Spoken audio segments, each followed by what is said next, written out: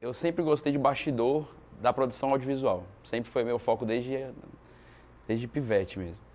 E, então eu tive uma oportunidade de ser redator de um programa de humor aqui no Ceará, na época da TV Diário, Turbulência. Minha ideia era só redigir, eu estava muito feliz com isso já, que eu achava genial, eu devia ter uns 17, 18 anos. E um dia no ensaio, um ator faltou que ia fazer uns personagens. E aí o diretor, na época era o Carri Costa, do projeto, falou assim, Vinícius, você pode ler o texto do personagem que você escreveu? Eu falei, posso, beleza. Comecei a ler, era um personagem bêbado, aí comecei a inventar uma voz, uma... comecei a criar alguns detalhes e tal, mas para ler mesmo, a leitura de mesa. Aí acabou o dia do ensaio, o Carrinho, não, beleza, cara, você que vai fazer, o outro ator não vai poder fazer mesmo. Tal. Eu falei, como assim? Não, você vai pra TV. Eu falei, vixi, não imaginava. Fui parar num programa de humor. Então, assim, minha estreia mesmo é na TV. E minha carreira toda é de TV, na verdade, é fazendo televisão. E apesar de eu vir, de uma família de teatro, meus pais trabalham com teatro e tal, eu não pensava em ser ator, sabe? Não era meu foco, não. Meu negócio era televisão e os bastidores, né? Fui parar na frente das câmeras. É, eu comecei no humor, na verdade no humor não, no teatro, desde muito novo, né? Assim, desde de moleque mesmo, assim. Era um daqueles que, que fazia aquele papel, é, como você diz, qualquer coisa que tinha no colégio, coisa, era eu que ia lá e falava em público, era eu que fazia lá. Isso desde, sei lá, desde molequezinho que eu me por gente. E com mais ou menos 14, 15 anos, eu comecei a ir para a parte do humor com mais, mais forte, né? Mais forte aí. Dentro de casa, eu era muito brincalhão, gostava, era muito livre. E aí, com o tempo, com a, fui amadurecendo, e aí eu comecei a, a, a, me soltar mais. E eu comecei a levar isso para meus amigos, para minhas rodas de conversa, família. E eu acabei com aquele cara engraçadinho, que tirava onda. E aí foi quando esse grupo, que, que era lá da igreja, né, que tinha o Davi e o Olavo como coordenadores, que a gente começou a, a treinar jogos de improviso, como exercícios que eles são, né, de, de assimilação, de raciocínio, de fila entre atores. A gente passou mais ou menos seis meses nisso, treinando, tentando encontrar ritmo, time, como que funciona, como que é o raciocínio de improvisar. E nisso a gente foi treinando isso até um ponto que surgiu uma oportunidade, um convite de uma colega minha que queria fazer algo do tipo nesse formato de humor, de improviso, e me chamou. Falei, cara, eu tenho uns amigos que a gente está treinando. Topa, topo. E então, a partir daí, a gente criou um grupo chamado 4 e meio. E esse grupo começou a se formar para o um improviso, né? ou seja, para trabalhar em cima desse tipo de humor, que era a espontaneidade. E há uns 3, 4 anos atrás, eu senti vontade de voltar para o teatro, até para me fortalecer como profissional na TV também. Foi aí que eu comecei a fazer stand-up comedy, que é um outro gênero de humor diferente do improviso. No stand-up comedy eu comecei a exercitar é, é, o humor de uma outra maneira, que é redigindo, escrevendo nossos textos e levando eles para o palco e apresentando com cara limpa. Aí eu comecei a estar tá em cima dos palcos né, novamente. E aí, de dois anos para cá, fui convidado para estar tá no 4 e meio, fiz algumas participações com eles, eles gostaram, não sei porquê, e, e me mantiveram no grupo, falaram, não, cara, você é o próximo membro da gente, você, você vai fazer parte do 4 e meio, você é o meio que, que faltava no 4. O humor a gente ganha várias formas. O stand-up está aí, o improviso está aí, e a gente começou a, a, a, fazer isso em um ambiente que não é tão comum. No começo tem muita confusão do que a gente de fato faz. A diferença entre, o, entre a comédia stand-up, né, ou stand-up comedy, e o improviso, o teatro de improviso, são... Vou falar de novo que eu fiz improviso. Ninguém merece ter improviso. Desculpa, diretor.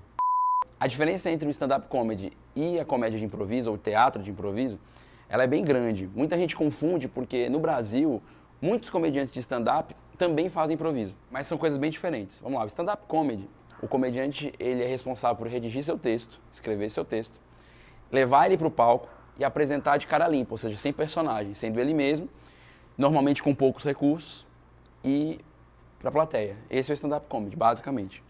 Já no teatro de improviso, a gente não tem texto pré-estabelecido, a gente não tem roteiro pré-estabelecido. A gente tem um formato de um mestre de cerimônia que ele norteia, ele explica todo o espetáculo, né? ele é o grande responsável pela organização, pela estrutura do espetáculo. Existem, fora o apresentador, esse mestre de cerimônia, existem quatro atores que a gente vai, vamos, que nós vamos realizar as mecânicas dos jogos. O mestre de cerimônia, ele escolhe o jogo e ele pega com a plateia o tema, a ideia geral daquele jogo. repassa pra gente e, a- em segundos ele starta o jogo e a gente tem que dar início àquela cena, aquele jogo com aquele tema que foi escolhido. Então no improviso é totalmente diferente, a gente não tem texto, já no stand-up a gente tem. Então essa é a, a grande diferença. Sem contar que stand-up normalmente você faz só, né? Você faz sozinho. E no improviso não, você tem um grupo, você tem atores para contracenar que entram e saem de acordo com a necessidade. Então essa é a diferença básica. Um, sete, oito.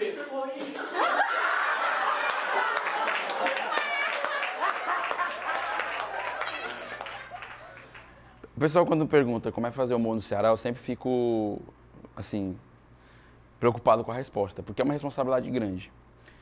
Vários comediantes quando vêm pra cá falam isso, da responsabilidade que é fazer humor no Ceará. Os caras de São Paulo, Rio, Pernambuco, por causa da fama que o Ceará tem com o humor. Eu não sou daqui, eu sou de São Paulo, mas me considero daqui porque o meu trabalho todo, minha carreira toda, ela foi construída no Ceará. Então, ah, faz, sei lá, 15 anos que eu tô aqui, 15, 16 anos que eu tô aqui, e a minha carreira toda foi construída aqui. E eu vejo que o humor é um assunto muito sério, apesar de ser para rir, né? E, e no Ceará, isso tem uma carga muito forte. Então, a gente, quando vai fazer humor, é assim, você pensa duas vezes antes de começar a fazer algo. Vou escrever um texto, uma peça de humor. Assim, você pensa duas vezes, cara, o que já fizeram sobre esse tema? Quem já escreveu sobre isso? É assim, a gente tem espelho em todo lugar, né? Então a gente tem sempre alguém de referência que a gente pode olhar, que a gente pode aprender, que a gente pode acompanhar. Já especificamente no improviso, que é hoje o que eu atuo junto com o 4,5, a gente não tem tantos. E a gente faz uma característica diferenciada, né? Então a gente faz um humor mais limpo, digamos assim, mais clean, que atinge desde o do molequezinho lá de 12 anos até a senhora lá um, é, com 60 anos, não sei. Então a gente tenta não usar termos chulos, né? Tenta, não fa tenta fazer esse humor di- diferente. E a plateia do Ceará ela é diferente de qualquer outra plateia. Por quê? Porque ela tem o xiste, a piada interna. Então, assim, você fazer algo e surpreender a, plateia daqui, se você surpreender a plateia do Ceará, você surpreende a plateia do Brasil todo. É uma coisa que não sou eu que falo, os comediantes vêm aqui de fora e falam. Tem comediante que testa a piada aqui, muitas vezes. Cara, se pegar aqui, eu posso fazer em São Paulo, eu posso fazer no Rio, posso fazer em Porto Alegre. Então, assim, acho que essa é a característica maior, a responsabilidade. Não, não é uma coisa simples fazer o mundo do Ceará.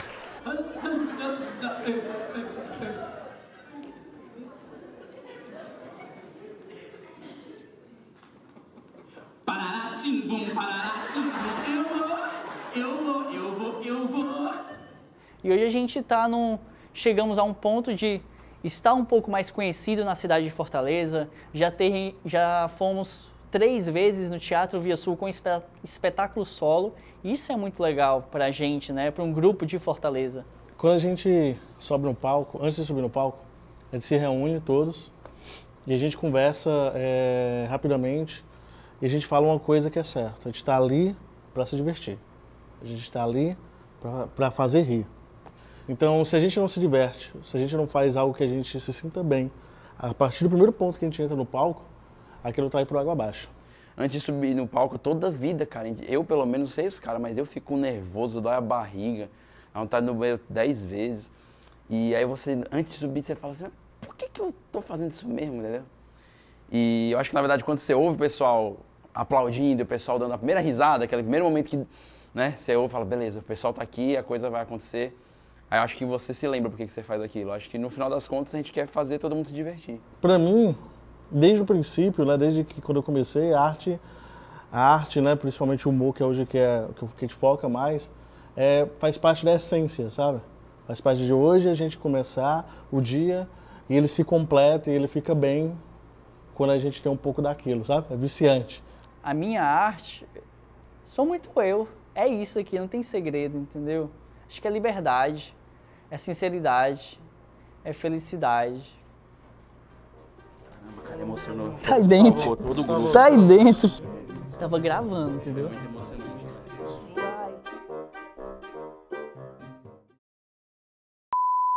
Esse é o clima de alegria e disposição que todo grupo sempre, né? Acabei de falar sobre isso. Essa amizade. Essa é a amizade, esse cara. Eu não queria mentir, né, mas ficou, ficou parecendo que eu menti. né? Pode passar zoado aí, porque eu não sei falar de novo essas coisas não. Grupo 4,5, cena 2, take 1.